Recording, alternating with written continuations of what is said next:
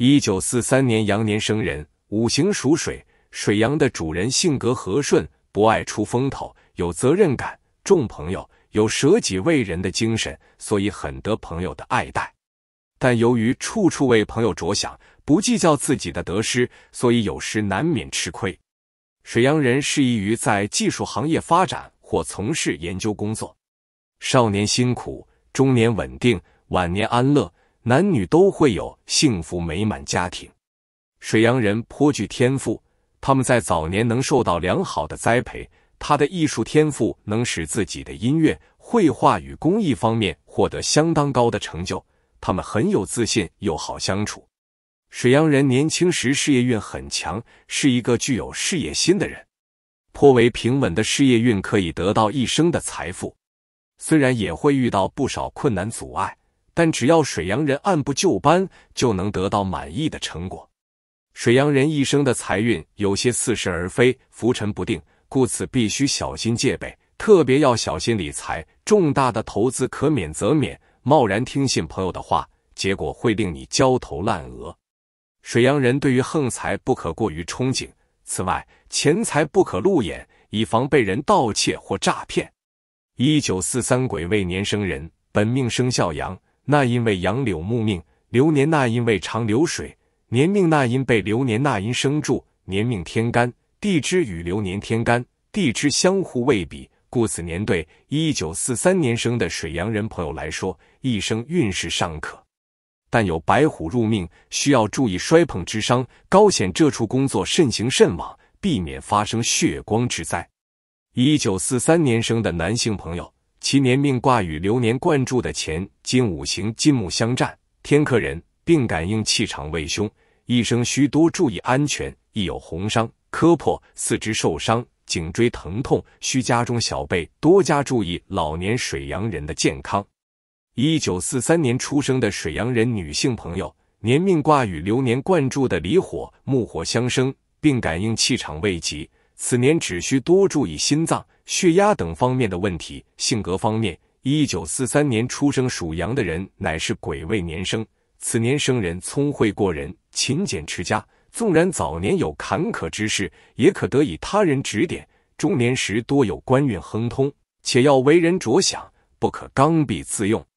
癸未羊年之人，性格聪颖伶俐，喜好和平，细腻，感知力极强，知人善任。文质彬彬，才学极高，善交际，伶牙俐齿，善决断，纯善温婉之人。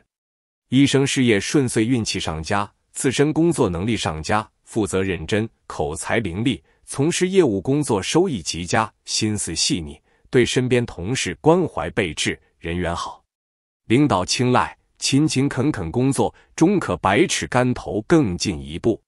水羊人对爱情细腻认真，与属兔、属马、属猪之人相配上佳，爱情美满幸福，感知力丰富，桃花旺盛，但性格优柔寡断，不懂拒绝，烂桃花多。对家庭认真负责，子孙安乐，缺乏安全感。身体方面多加注意锻炼，可保长寿。其实生肖运势的高低是所有人都无法去操控的。唯有修行自身的智慧，是趋吉避凶的唯一法则。在这里也分享一篇文章，希望各位有缘的朋友能静下心来，好好的读一读，也许能给你一些简单的领悟或心灵的沉淀。相信这对你未来的运势会有很大的帮助。有闲人说过：“平心静气，静而不争，方能无往而不利。”无论是做人。还是做事都应该保持一颗平静心，无论是待人还是接物，都应该要保持一定的平常心。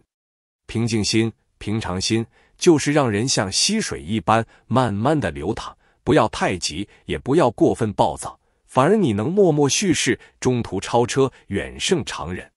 现代人谈论修身养性，就经常把什么赚大钱和成功扯到一起来谈论，这。恰恰就是走极端的开始，因此糊里糊涂的修身养性的人居多，而真正过好自己生活的人居少。试想，整天把赚大钱和成功放在嘴边的人，那他做事如何能够平静？那他做人如何能够长久？太急躁，结果就是让自己陷入到沼泽当中，害死了自己。只能说，现代人多了暴躁，而少了静心，这就是他们活得不幸福的根源所在。有道是“致虚极，守静笃”，大致意思是让心灵保持虚和静的至极笃定状态。直白一点来说，就是心性要朴实，心灵要平静，做人要淡定，如此才是你我的正道。盲目强求是普通人走极端的开始。为什么我们做不到静以修身呢？因为我们都喜欢强求，不是这一刻强求钱财，就是下一刻强求感情，反正什么都想自己说了算。这种强求的想法，很遗憾的说，就是一种走极端的行为。在十几年前，有一位年轻人考了很多次都考不上名校，所以就想跳楼自杀。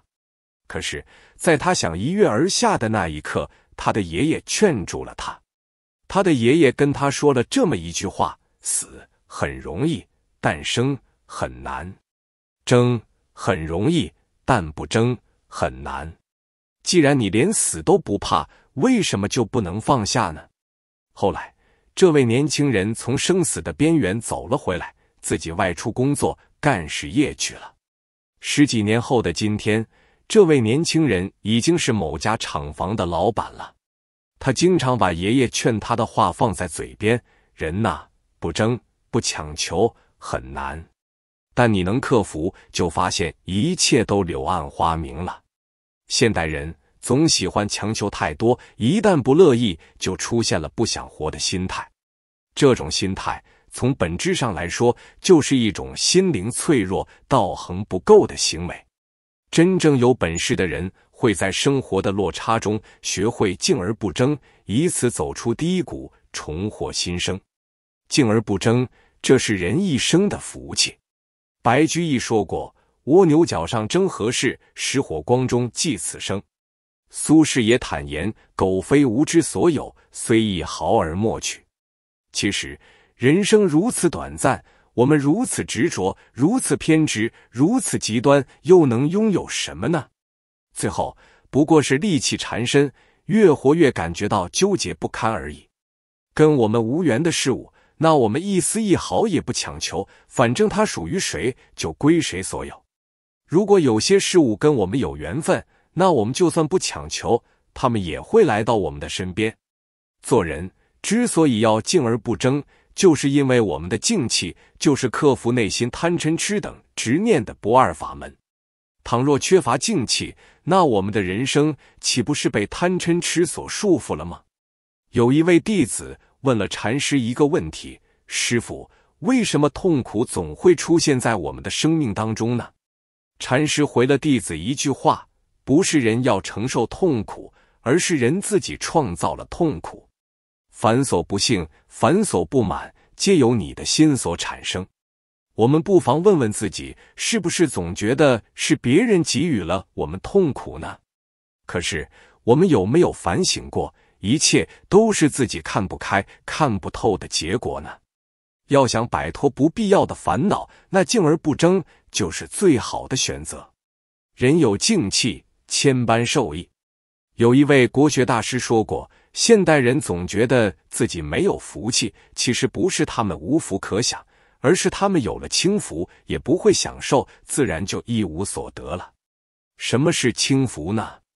那就是在空闲的时候，你要清空内心深处的烦恼，只要是过去之事儿，都一律清空，只留下一方干净的天地。每个人的内心深处都有一片清明的空间，可这片空间。大多数都被我们用来收纳尘世间的是非和烦恼，这个时候，这片清朗的空间就会变得污浊起来，就像房间一样，它本来是整洁的，但你非要把垃圾和杂物丢入其中，那它又怎么可能干净呢？如此，我们第一时间要做的就是清空不必要的杂物，抛弃那些不属于自己的人与事儿，放过自己，同时也放过别人。像放过这种智慧，现代人往往不具备，因为人太贪心了，总认为自己能够拥有尘世间的一切，殊不知他们拥有的并非是福气，而是尘世间的污垢。如此，做个内心有静气的人，剔除污垢，还自己一片简单且舒适的空间，淡然自若，坦然自得，这般就是美好。好了，以上资料来自于网络，那么分享就到这里。天道酬勤。要记得，机会永远是给准备好的人。祝福各位亲爱的朋友，福气满满，财气满满，身体健康又逍遥。下期见。